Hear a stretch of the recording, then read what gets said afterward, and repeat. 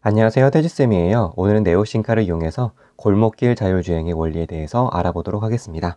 이때 전방에 있는 거리 센서를 이용해서 막다른 길인지 아니면 길이 계속 있는지를 판단할 수 있고요.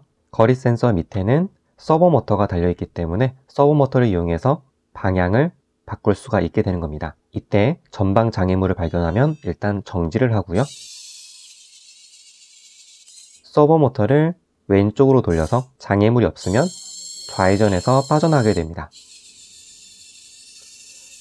반대로 왼쪽이 막혀 있으면 오른쪽을 확인하게 되고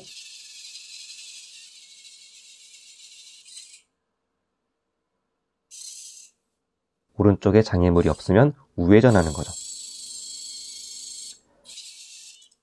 그리고 왼쪽과 오른쪽을 모두 확인했는데 모두 막혀 있다. 그러면 막다른 길이기 때문에 유턴을 하게 됩니다.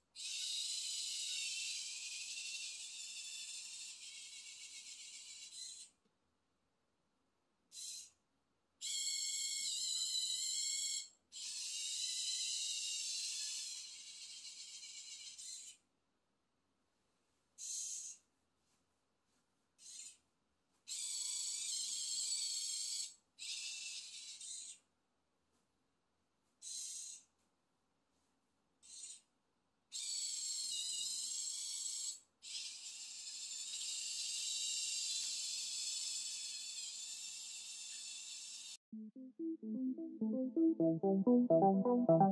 you.